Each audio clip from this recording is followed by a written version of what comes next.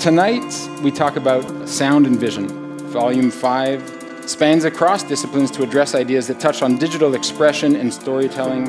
A great deal of power exists in exploiting your audience's uncertainty. We're, we're not an authoritative voice that has the right answer because music is subjective, but at the same time, we do have a sort of point of view and we try really hard to hold on to that. Interactive work is not a derivative of any other form of expression. It is an art form in itself.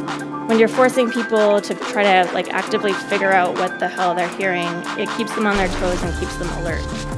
Just talking about storytelling, it's impossible to um, ignore the fact that while you're sort of branching out into other areas, um, it's sort of communicating its own story about um, a brand itself. Uh, Quebec is greatly a world leader in interactive creation. I think because we live in a visual culture, it's kind of often the default is to like present that story in some kind of visual medium.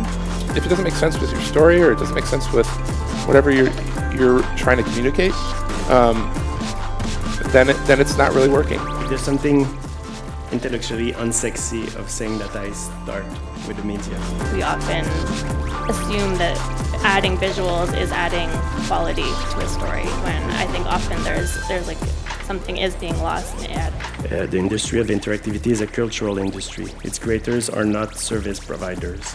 And it's impossible to think about a delivery mechanism without knowing where that delivery is going.